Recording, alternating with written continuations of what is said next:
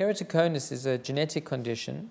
It's found in approximately one in a thousand people in the general population, but it's found at different intensities. Some, many people will have evidence of keratoconus once they've been scanned with certain corneal scans, which can pick up this condition, but are often not even aware that they have it.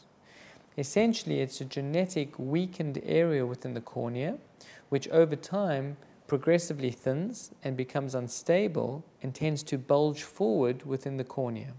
So, whereby most of us have nice spherical corneas, what keratoconic patients develop is a, cone shaped cornea, which therefore becomes very irregular in terms of the surface shape. And it's the irregularity which is very difficult to correct with conventional glasses. Glasses and toric contact lenses are able to treat and correct for short-sightedness, long-sightedness, and astigmatism if it is a regular astigmatism, it's a regular curvature. If it's a cone shape, things become very irregular, and that in itself means that with those conventional methods, they're not able to achieve very clear vision.